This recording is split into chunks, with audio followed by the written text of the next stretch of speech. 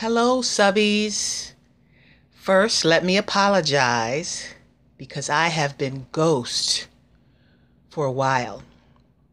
So I wanted to bring you an update with my current treatment and give you some tips and hacks and information that may be helpful to those out there who are suffering from cancer, specifically colon cancer.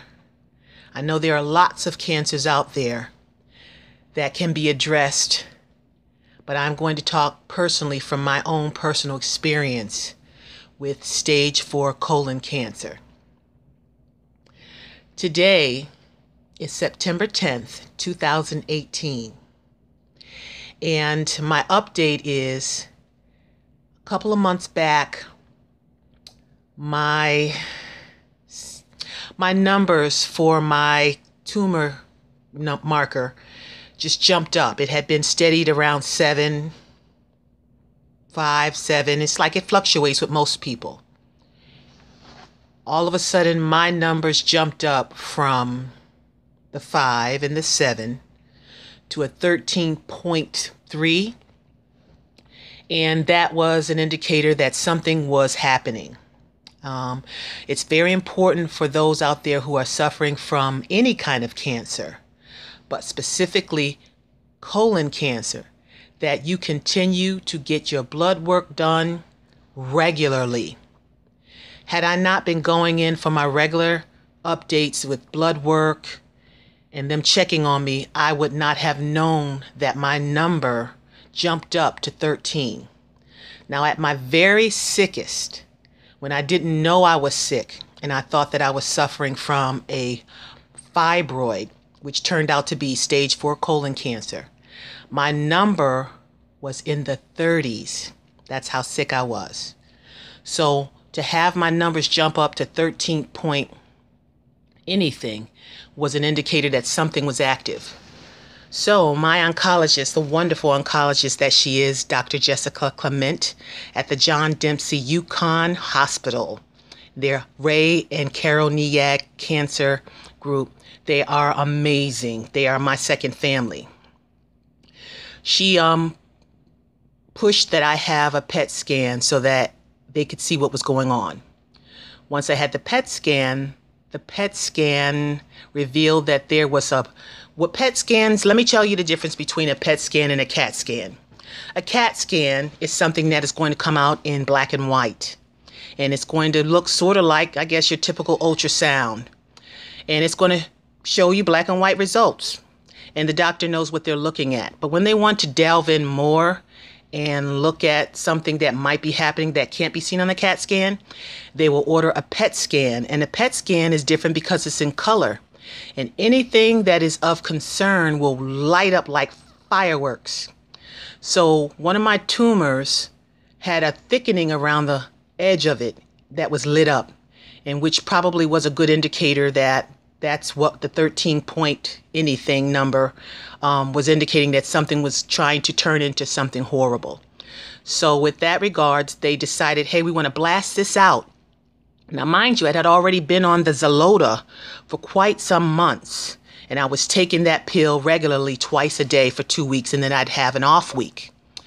So they decided that to take me off the Xeloda so that they can put me back on chemo for my port.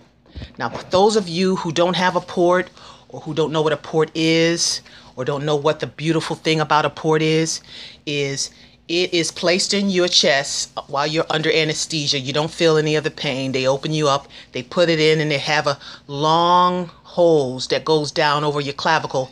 And the chemo goes into this little port. I have a smart port. And they put the, the uh, Huber needle inside of the port. Now, the Huber needle is different it's not a normal needle like the one they put in your arm to get blood from or a PICC line. A Huber needle has a special type of opening that when it when it goes into your skin, it doesn't take a chunk of meat out with it like a normal needle and you end up having this hole that has to heal. A Huber needle basically opens up your skin in a certain way so that it doesn't cave out any skin and it goes directly into this little small pot I'm going to show you, and I know you're wondering what this black uh, strap is. This is an InfuSystem infusion pump. And they send you home with this after your infusion. Your infusion can last anywhere from five hours, maybe shorter, maybe longer, depending on how quickly the pharmacist at the hospital can mix up your chemo. And basically, once you're done with your infusion, they will take and flush your port of the stuff that they just put in you, and then they will connect this pump to you. Now, I'm going to pull this up through my shirt so that you can see how, you know, you can wear it. And it's like, you know, my fancy Gucci pocketbook. No, not. But it is very vital. I have to keep this on me for two days or 48 hours. So if I fail to get back to the hospital within that 48 hours, what will happen is this pump will start to beep. And as it gets lower and lower into empty, uh, it will beep. And I have had this happen to me, you know, not thinking about my time, maybe running a last minute errand with the energy that I still have left to the grocery store. And I've had this go off in the grocery store, and I've had to tell people, hey, guess what? I'm not a bomb. I'm not going to detonate. It's just my chemo pump. I'm late getting it taken off. Please don't be alarmed.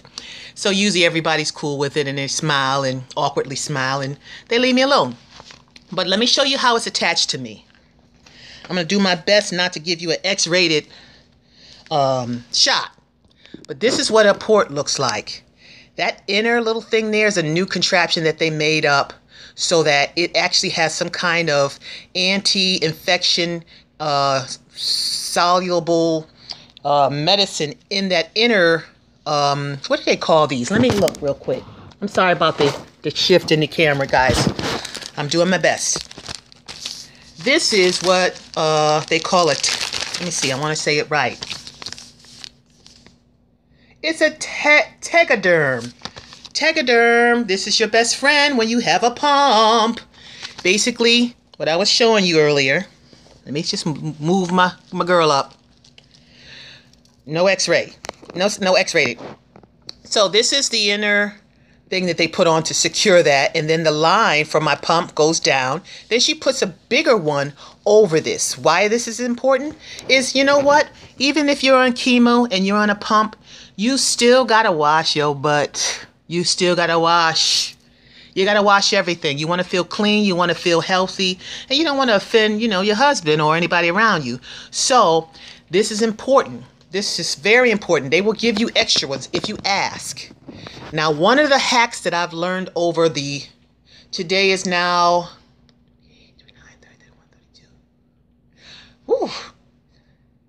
28, 29, 30, 31. 32.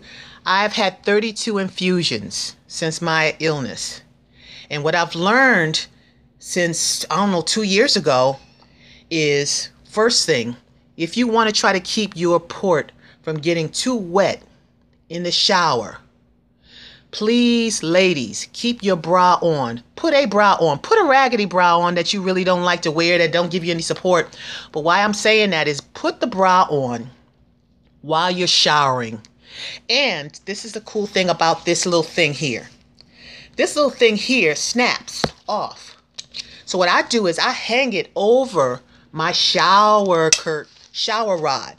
And I put it at the very end. And of course, obviously, I'm going to shower completely nude minus I'm going to keep my bra on. The reason why I keep my bra on is when you put this on, your your girls are already cradled up. So they're going to give you the support you need so that this port stays comfortable. Once you take your bra off, if you have a certain age, I'm 51, just turned 51 last month, August.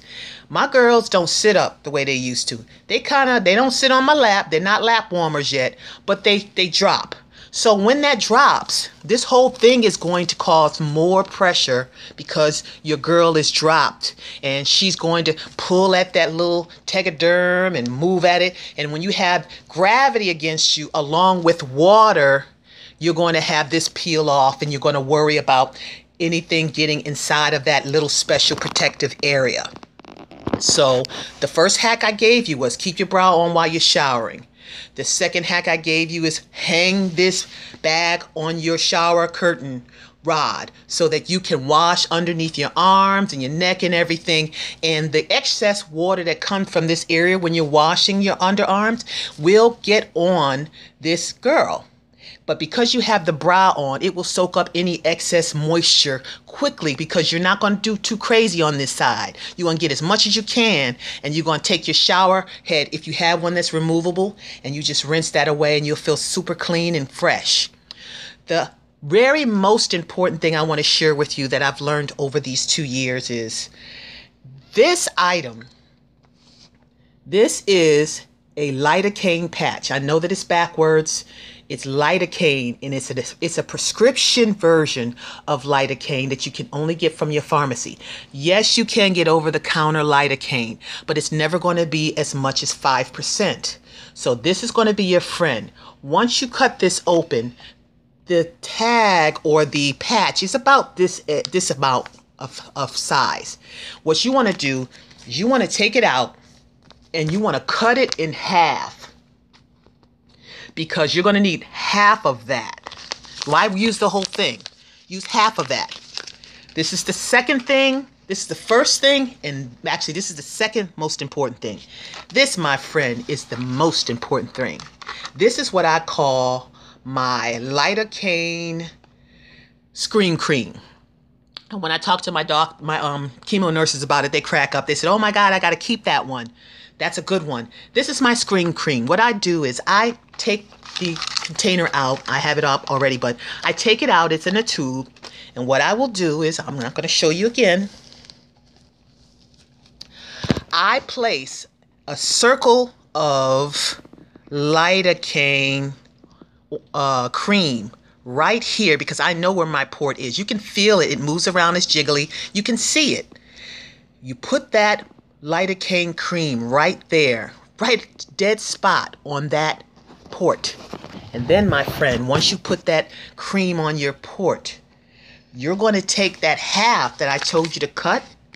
You're going to take the backing off, and it's going to be like a floppy little piece of rubbery stuff but it's all lidocaine in a soluble base. So that means that if this ever gets wet in the shower, which I don't recommend, it will swell up and get very slippery, sort of like the way a, um, a stingray feels. If you've ever felt a stingray, I have. They feel like, you know, old jello, rubber donkey jello, as I grew up calling it.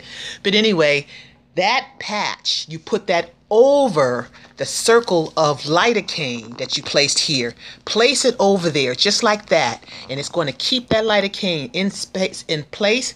It's not going to slide out. It's not going to slide out like it would if it was a band-aid. It's going to stay there. And along with the lidocaine that's in the patch and the lidocaine and prilocaine that's in this, this you put